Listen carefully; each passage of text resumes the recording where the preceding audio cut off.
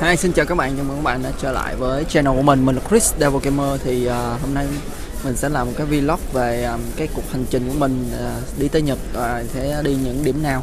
Uh, Bây giờ mình hiện đang ở sân bay Tân Sơn Nhất để mà chuẩn bị um, lên máy bay. Và bây giờ um, mình sẽ lên máy bay xong rồi mình sẽ bay thẳng tới Hồng Kông. Bay tới Hồng Kông xong thì mình mới được qua Nhật. Mà có khi nào mà nó bắt nó nhốt mình ở Hồng Kông luôn Má đéo tình thế giới bây giờ loạn lạc lắm, nó có thể bắt mà nhốt ở đâu đó. Và đây là cái màn hình ở phía trước ghế mình. Đó, bạn có thể thấy được cái quãng đường hay thiệt. Và đây là cái ờ, cầu tiêu máy bay trong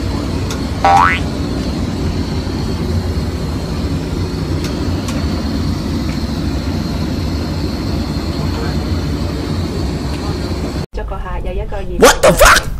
Tại sao cái ông này cái mặt ông cứ đứng nghiêm y chang chỗ cũ vậy? Má vải nhìn như tượng vậy.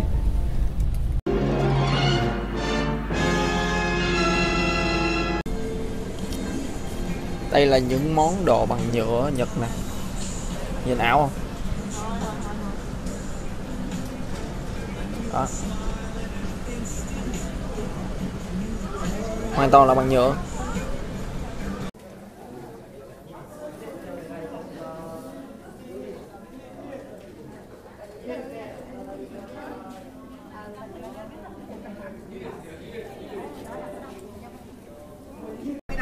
À đây là cái kẹo của Nhật nè, cho nó dễ đẹp ghê không? Này là hơn là nó dễ đồ ăn chứ nó dễ cục cức là cho giống. Ohio minasan. Watashi wa Chris Devil Gamer desu. Uh, gờ, nói tiếng Nhật luôn. hai giờ này nãy à, mới vô hỏi cái uh, bà lao công bà chỉ không biết bà có chỉ bày không lỡ bà nói uh, chỉ mình cô, cô chim gì chết chết luôn À, hiện tại là mình đang ở um, cái tòa tháp cao 90m ở uh, thành phố Nagoya. Oh. Gặp tôi so độ cao. Lên là chỗ tèo chân cúc. Các bạn có nhớ cái game mà mình chơi mà nó thật ra nó ở trên cái tòa, tòa nhà cao này em có cất xuống không? Ở đây mà không có người là tôi, chơi tôi thử thử thử. Mà ở ngoài á đang có là 10 độ thôi. Mà bà nghĩ tôi yếu cũng cất xuống là nó như trái lựu đạn nó rớt xuống.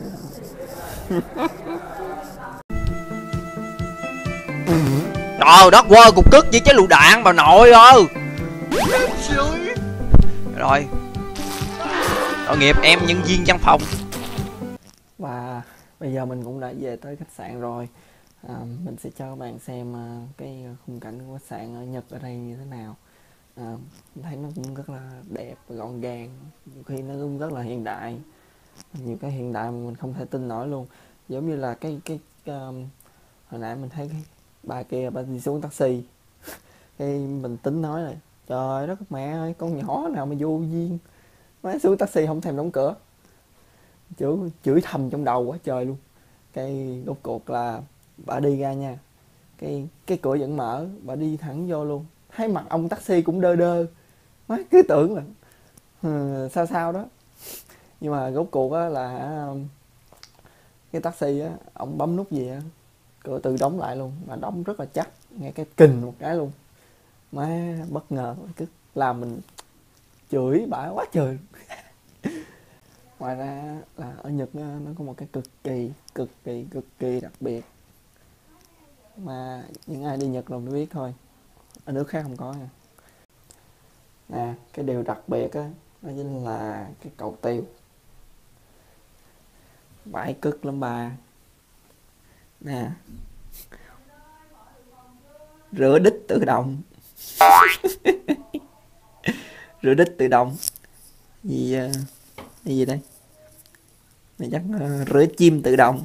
Này dừng rửa hình như là không có cái nút cắt chim thôi. Má có cái nút cắt chim là thua luôn. À, mà hiện tại là mình đang đứng ở cửa hàng à, Lego. À đây cửa hàng Lego ở Nhật Bản và mình sẽ vô coi thử coi nó là gì nha. Là cái mô hình Lego con robot trong Star Wars nè. Này là hai con luôn. Rồi lắp rất là tỉ mỉ. Đây sẽ lên gần hơn cho coi. Ghê không ghê không?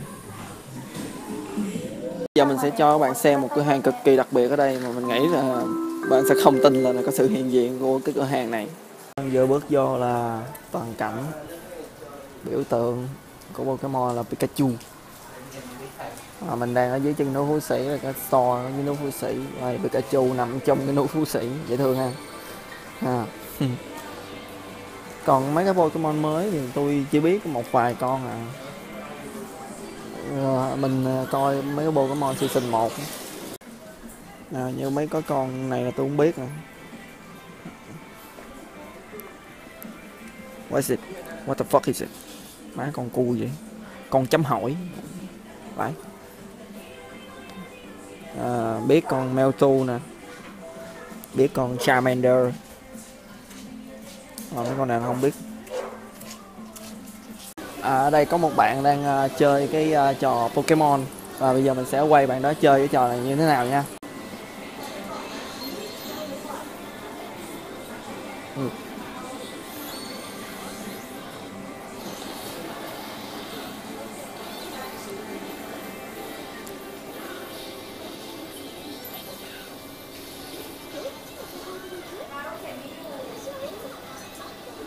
Ê, điện tử thẻ của người ta đẹp quá trời không.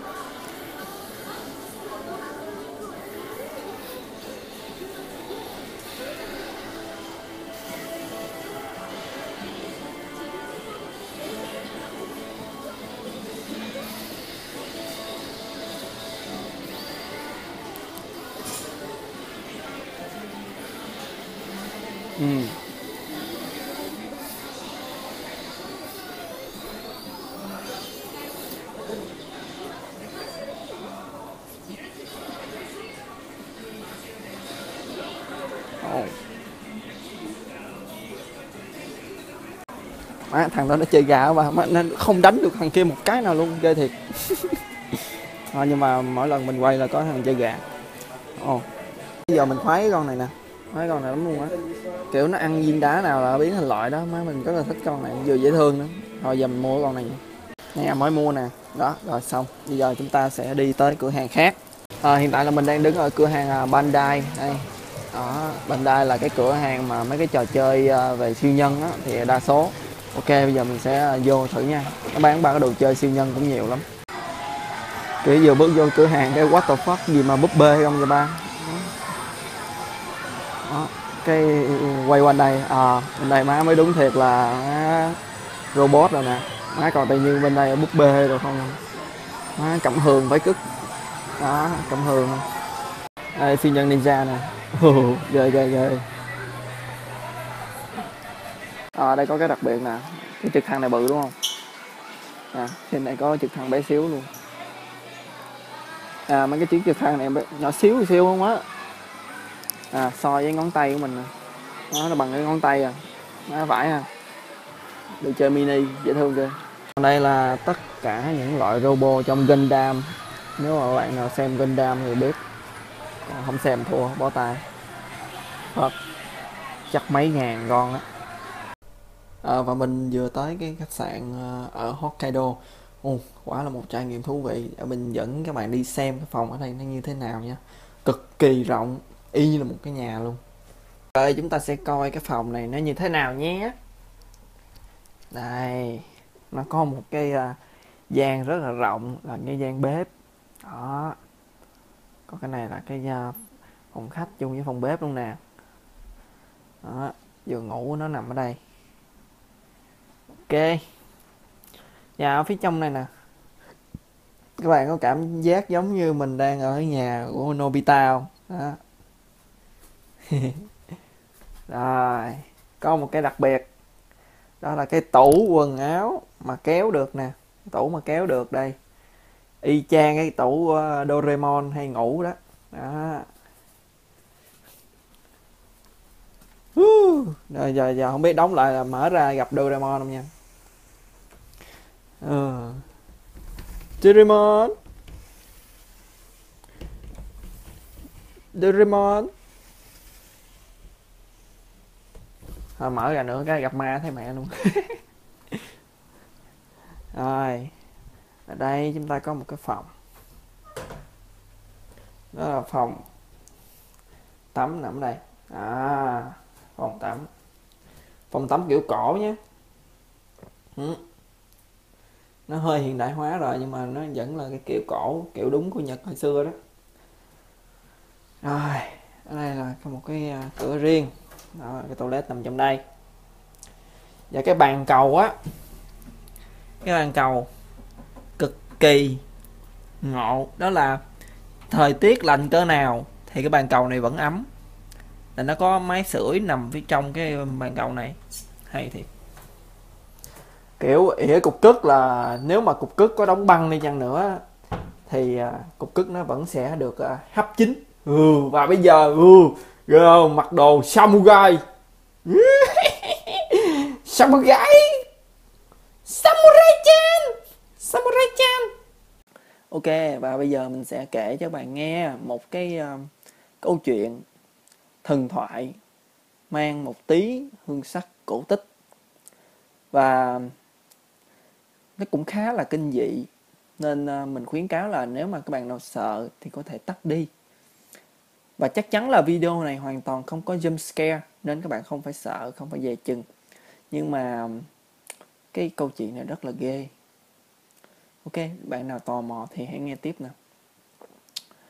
Và ở trước thời chiến tranh thế giới á, lúc đó um, trên núi Phú Sĩ có một ngôi làng mà người ta thường gọi ngôi làng đó là mộng làng. Vì ở đây không có internet nên gọi là mộng làng. Quái lắm. Thôi bỏ qua bên đi. Rồi nói chung là cái làng như vậy ở trên núi phú sĩ thì hàng năm dân làng ở đây phải hiến tế cho một con quỷ một người thanh niên cường tráng, đẹp trai, lực lượng, khỏe mạnh. Con quỷ đó là con quỷ bích đú. Người dân phải hiến tế một cái người con trai cường tráng để cho nó bích đú hàng năm. Đó. Khi mà nó bích đú vậy đó là cái người đó teo lại bị uh, mất trinh đủ đích mà thì nó teo lại và chết đi câu chuyện chỉ có thế thôi đó bạn nào rảnh quá thì tối ngồi nghe thì đó. hồi nãy mình nói là sao nãy mình nói là mình sẽ kể một câu chuyện cổ tích thần thoại. Đó câu chuyện đó có thiệt là cổ tích thần thoại rồi. Rồi, rồi, rồi, rồi xảy ra ngay trước uh, chiến tranh thế giới luôn chứ. Đó trời lịch sử luôn. Mà kinh dị ở chỗ nào? Kinh dị ở cái chỗ là bích đú á. Mày nghĩ thử xem. Thử xem một thằng mà bị bú đích á, cướm cỡ nào mà không còn kinh dị. Thì đúng rồi đó trời ơi. Nói chung là cái câu chuyện này à, không có gì thì ghê lắm. Thôi bây giờ kể một câu chuyện thật. Đó là một cái cuộc thi ở nhật. Đó là cái cuộc thi du bự. Ừ. có thể là bạn nghe rồi có thể bạn chưa nghe. Ok bạn nào à, chưa nghe thì mình sẽ kể cho nghe. Còn nghe rồi thôi không cần phải comment vô ở nghe rồi đâu. Là no one care anyway. À, bây giờ ngày xưa xa xưa luôn thì à, có một cái cuộc thi thi du bự uhm. mà thi làm sao tức là tuyển chọn ra ba nước đại diện hay nhất và thuộc dạng là loại vú bự nhất ừ. ở châu Mỹ có nước Mỹ đó là mấy con Mỹ là vú nó bự đó. đem cử một con vú bự nhất đem thi còn ở châu giữa châu Âu và châu Á là có một con Nga. Con nước Nga là vú nó bự mà đó. Đem thi rồi ở châu Á là họ có lấy một con Nhật. Bị mấy bạn coi phim xét là coi gái gái nhật là gái ờ, mỹ gái nga không chi mẹ gì nữa. Đó. ít ít khi coi hàng ít khi coi hàng hàng là người ta phim uh, uh, coi chút khóc đó phim tình cảm được. Đó. Việt Nam nói khỏi nói rồi khỏi nói. Việt Nam khỏi nói. Du giả là không tính. Du giả Thái Lan là không tính. Đó. Đồ thiệt thôi. Rồi, ok, thì à, có ba nước. Mỹ, Nga và Nhật. Thì cái con đầu tiên vô là con Mỹ.